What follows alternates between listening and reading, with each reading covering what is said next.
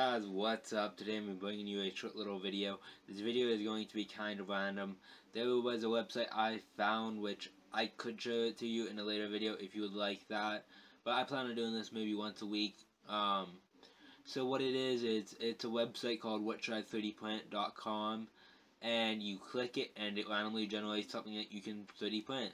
Well, I did that and I got, well, let's just say this.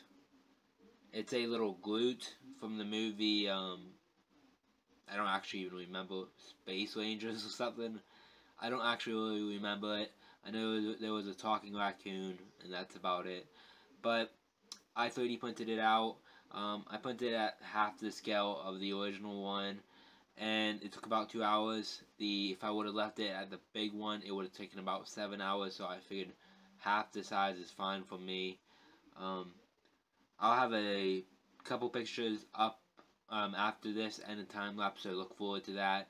But also during this video, I would like to say I'm thinking about giving it away. If more than two people want want me to actually give it away, just comment below, and we'll see about that. Alright. Most likely, if I do give away, just comment down below, and then I'll pick one of you guys from a random generator. Alright. Um. Also, I did want to give one more update on my channel. I've done this for the last couple days.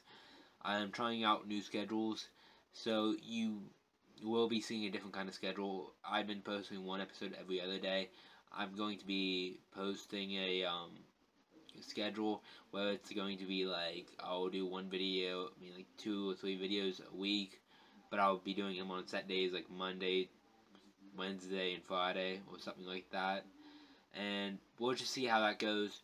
But enough of that, and I hope you guys enjoy the video and enjoy the time lapse, and have a good day, guys. Peace out.